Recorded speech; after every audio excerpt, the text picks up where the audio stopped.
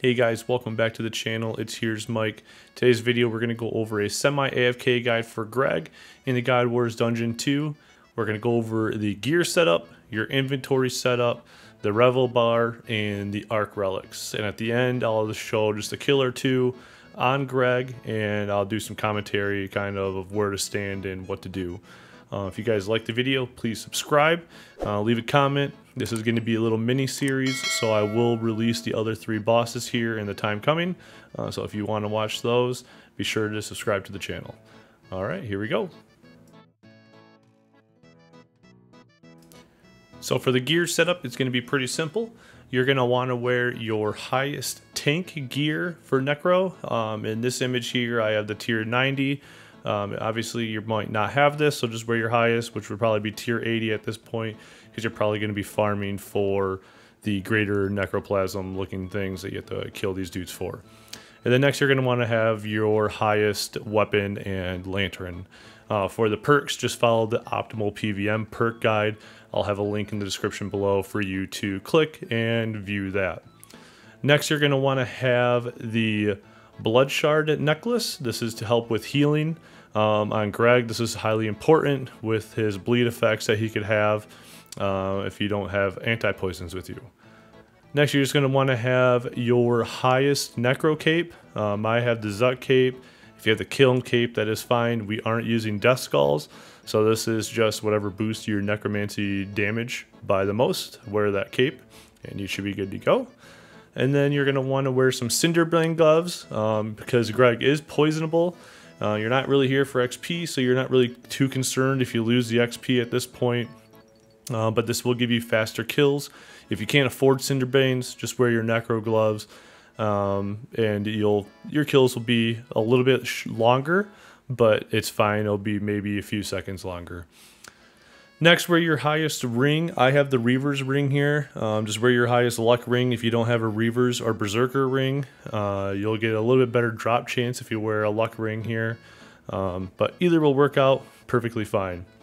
And then the last is the book slot. I have the Jas book. Um, after doing this, I should have brought the illuminated or the normal version of the Book of Law. It costs around 200k for every 15 minutes, but you'll be getting more than enough kills to sustain that cost. And with the passive of having the tornado go down, this will increase your kill times by quite a bit, and I think it would be worth it. Um, if you don't care, just wear your highest book that you can have for the damage boost.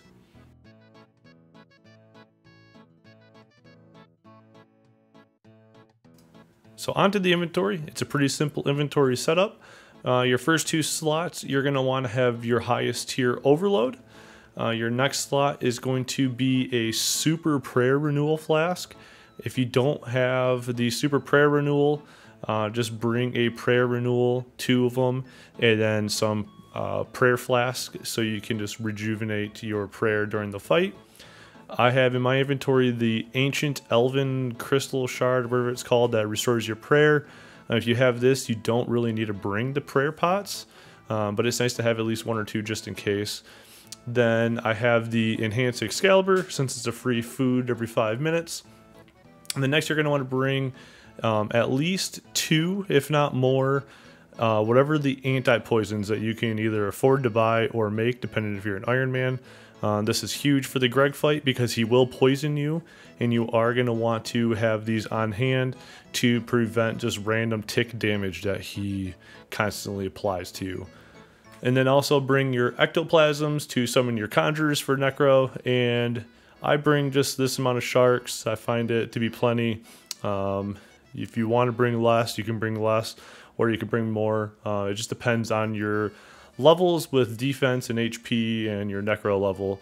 Um, that's going to be something that you have to play with while you're doing the kills. Next, we're going to talk about the relics for Arch to have on while you're fighting Greg. Uh, the major one that you're going to want to have on is Persistent Rage. Um, as between each of the kills, this is very helpful to almost get up to full adrenaline. So if your ghost is about to go out, if you don't feel like clicking, um, your guy will automatically uh, start activating the ghost. Or if your ghost has 30 seconds, he'll start using Scythe. Um, this is really good to have though. Uh, also, Fury of the Small to regenerate or generate more adrenaline during your attacks. And I just put on Death Ward, that's because I use for Rasial, and I didn't feel like changing it, and I feel like it's just nice to have a damage reduction uh, when doing these type of AFK activities. Next, we're going to talk about the Revo bar. Uh, it's a pretty simple and easy bar. You only need to have these seven uh, abilities set up. Uh, so first is going to be the Conjures. So it's going to be Conjure, Skeleton, and Ghost. Uh, this is big because obviously the Skeleton's for damage. Ghost will heal you a lot. And with having the Scythe right next to it, you really won't be using Haunt. Um, if you want to, you can switch this up so you can use Haunt, but it's not necessary. Uh, but next you obviously have the scythe abilities, it's best to have all three versions of the scythe unlocked for this. If not, whatever one you have unlocked is going to be fine. Um, but this helps kill like the Greg shadows and whatnot that spawn in during the fight. Next we have Volley of Souls and Finger of Death. Uh, these are important to have before uh, Soul Sap and Touch of Death because once you start getting the stacks, if you put it afterwards, uh, it rarely casts those two spells, and it gets kind of you get slower kills, kind of annoying. Uh, so I put mine beforehand, and then obviously Soul Sap and Touch afterwards.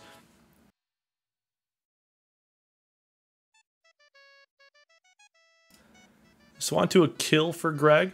The first thing you're going to want to do is run over here to this northeast area where the skeleton is and turn your run off and do protect from range.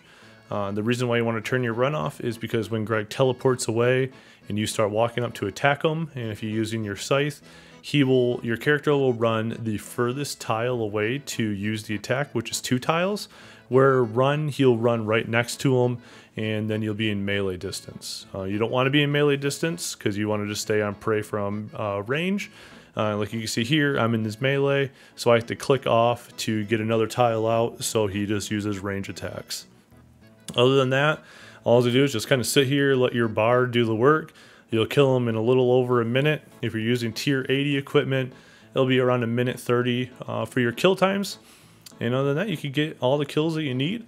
If you guys like the video, please subscribe to the channel. Comment if you guys want to see something else.